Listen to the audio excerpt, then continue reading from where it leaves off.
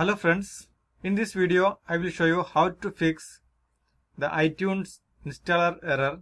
The iTunes installer requires Windows 7 Service Pack 1. If you are using old version of Windows 7 without Service Pack, you will get this type of error message. You can check your Windows version by right clicking on computer and click on the properties. You can see here your Windows is just Windows 7 without service pack. Now I will download the latest iTunes software from Apple website. Here in the Google I will search iTunes download and download the latest iTunes from the apple.com. Click on the download button. Downloading is started. I already downloaded this latest iTunes setup. So I will double click on the setup file. Click run.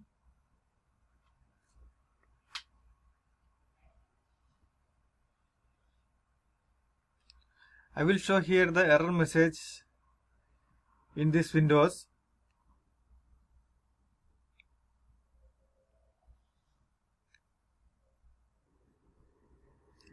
you can see here the error message the iTunes installer requires Windows 7 Service Pack 1 64-bit edition or newer because I am using here Windows 7 64-bit without Service Pack 1 so for installing iTunes in this system I have to update my Windows or I have to use Service Pack 1.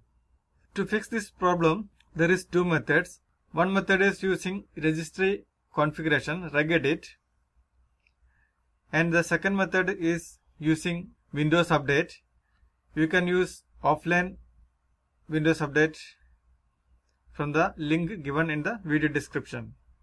That will just update to Windows Service Pack 1 without any additional updates. So here let us check the first method using regedit. Press Windows key and R together to get the run box. Type regedit and click OK. If you have the user access control enabled, click on the yes button. Now the registry editor is opened. From here, click on the H key local machine, then click system, then go to control set 001, then control,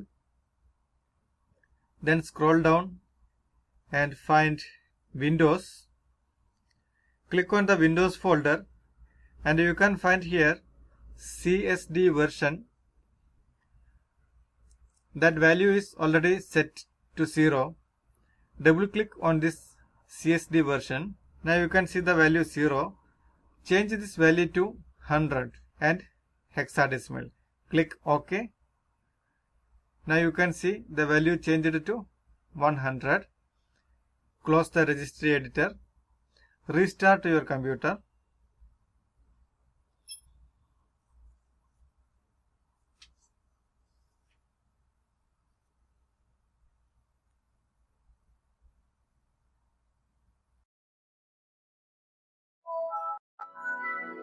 computer restarted now let us check the computer properties you can see here now the windows is windows 7 ultimate service pack 1 now without installing any updates just using some registry settings by changing the value from 0 to 100 the windows is now working as service pack 1 and now you can install itunes and some other software that requires windows service pack 1 let us check again the iTunes installer.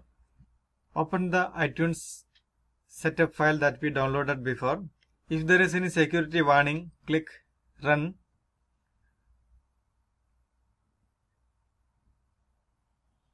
Twelve point seven point two point six zero.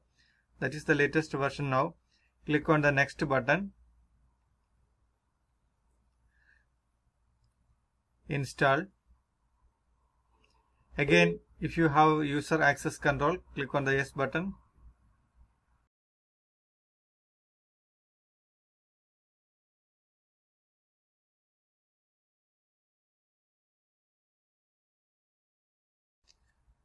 It will ask again the user account control permission. Click yes.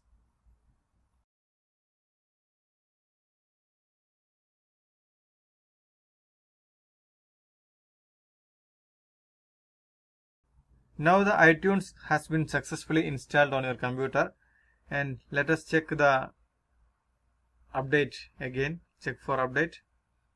This version of iTunes 12.7.2 is the current version. Okay, that means you have the latest iTunes installed on your Windows without updating to Service Pack 1. Just within 5 minutes you can change the registry settings and install iTunes very easily. Now let us check the second method. In this second method, you can update your Microsoft Windows online or offline.